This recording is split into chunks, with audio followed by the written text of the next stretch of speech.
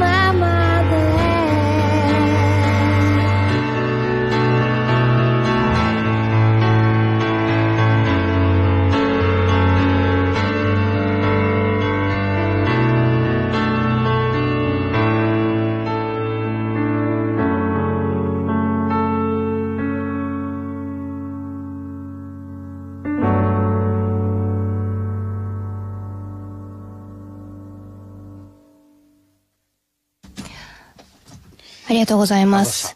えー、聴いていただいたのは、二人という曲です。えー、アルバムの中では、えー、相鉄戦で、えー、一緒に歌ってもらった溝部亮さんが、えー、コラボで入ってます。はい。はい。セクシーな曲になってます。なってますね。はい。はい。それでは次の曲に行ってもいいですか？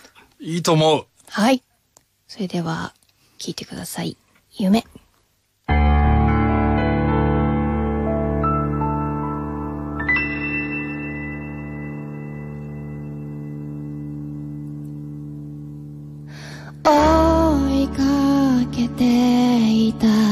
夢の続きどこに置いたままにしたんだろう。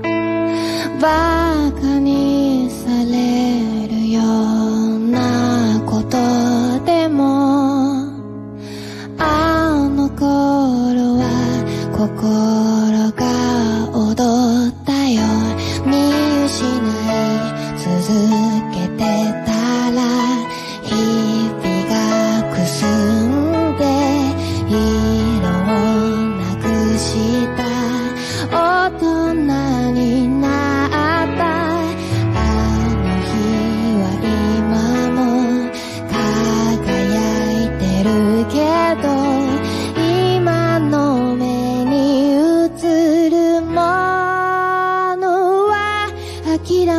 くちゃいけないって。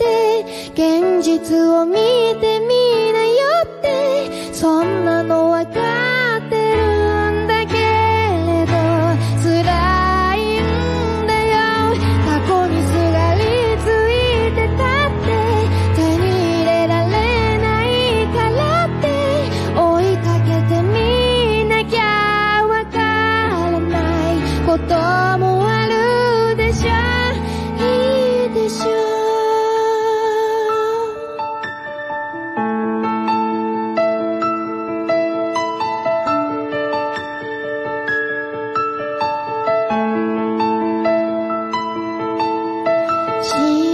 スはきちんと見抜いてよ。